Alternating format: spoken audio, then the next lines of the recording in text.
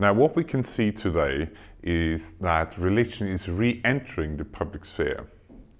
The most obvious areas of uh, this re-entrance of religion in the public sphere is, of course, terrorism, unfortunately just or in the media related to Islamic terrorism, but we can also see it in, uh, in an academic discourse when the theory of secularization has been reversed since the 1970s.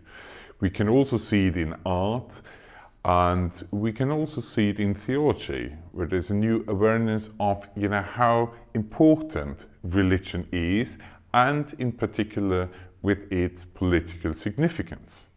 May I show you just how I see the relationship between religion and politics? Maybe. You know, if we, if we say, you know, this is religion in red, and this is politics. First of all, religion and politics, they have at least one thing in common. They are both concerned with the common good or the community. Now, the difference, though, is that politics is concerned with the control of the will of people and the bodies of the people, whereas religion concentrates on the very existential question of the control of the salvation of the soul. That's the ethics. We tell you what you should do in order to be saved in the end, and we give you a promise, whereas politics says we are purely temporal, we are interested in this world and we want to make things happen positively in this world, whereas religion is talking about the afterlife. So if this is a timeline, and let's start somewhere in classical uh, Greek philosophy, for instance, uh, religion, politics were somehow paralleled. Uh, what has happened during the Middle Ages, uh, religion, I say this is religion, and this is politics.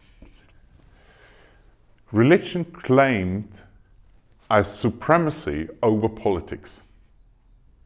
You know this, uh, you know, the Pope is superior to uh, the princes or the emperor.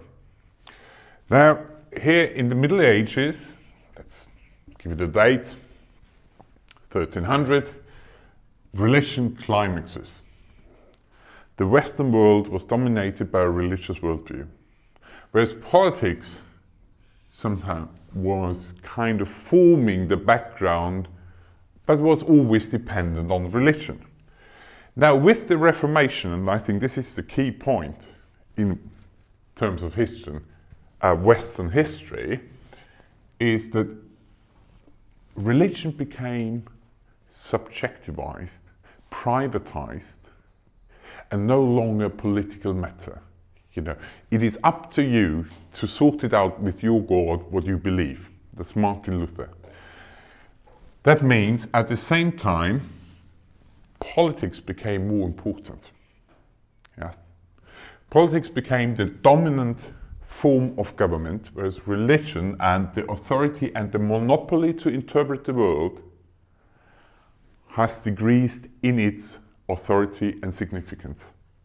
What we can see, at least since 1989 and the fall of the Berlin Wall and this rethinking of the role of religion in the public sphere, is that the lines are blurred.